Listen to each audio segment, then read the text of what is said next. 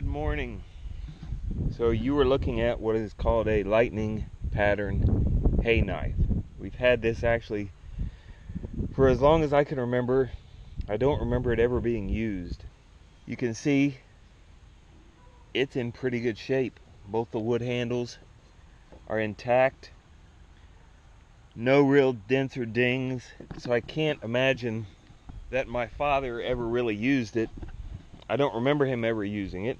It probably was just a decoration, but I have a need for it. So I remembered it was there uh, down at the farmhouse. I went down this morning, got it, sharpened it up a little bit. It's actually pretty darn sharp right now. About as sharp as you'd want a blade this size. I'm not exactly sure, but I think the way it's designed, it cuts on the push stroke. So why do we need this? Let me go show you.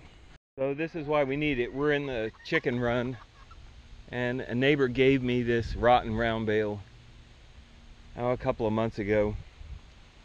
And typically the chickens will pick through something like this really quickly. Though it's hard to believe, if I can get this spread out, by this time next year, there'll be no sign at all that this bale was ever in the run. As big as this is and as heavy as it is, they will work their way through it. But this is going to be a experiment. I don't know how the knife works. I don't know if it will work. But there's only one way to find out, and that's get up on top of this bale or push it over maybe uh, and see what we can do.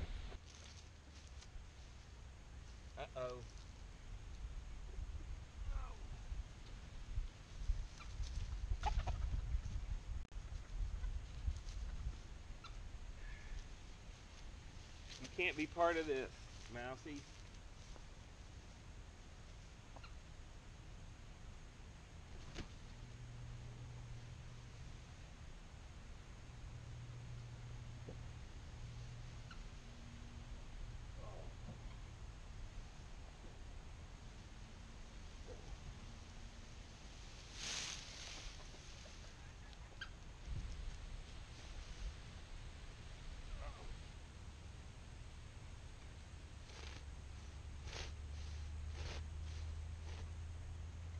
Hey.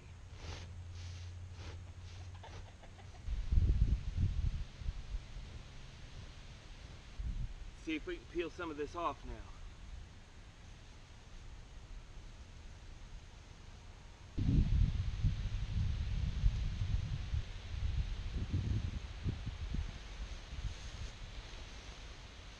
Unfortunately, somewhere the kitten, oh, there she is. Hey, you chasing mice in there or something? All right, I'll hop back up on top. That seemed to be the best way to cut.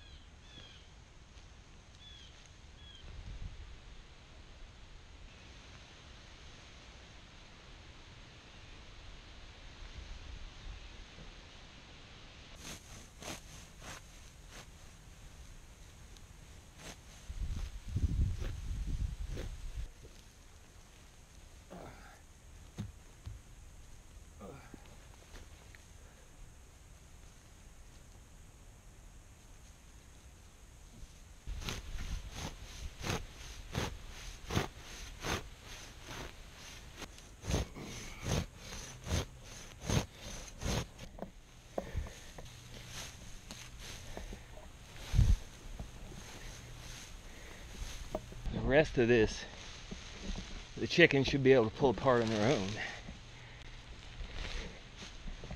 As you can see, we took what was a cohesive bale and pretty much destroyed it, opened it all up. I'd say that took oh, a total of 15 or 20 minutes and it would have taken a lot longer trying to just unroll it. So my assessment of this, I guess first and foremost, This is, I can tell, the kind of tool that would take practice. If I could see a someone a hundred years ago put it to use, I think I'd have a much better sense of how fast they were moving it, what angle they were moving it. So I have no doubt that this was uh, designed with a loose pile of hay in mind, not with a modern, tightly wound hay bale. So it worked for this job, but the way we make and store hay is much different than it was during the period when the tool was produced. So enjoy it guys. If I remember this time next year, we will revisit this pile of hay and see if there's any sign of it left. I hope you enjoyed this video. Definitely one of the best workouts I've had all week. So thanks for watching. Hope you all have a great week. We'll see you soon.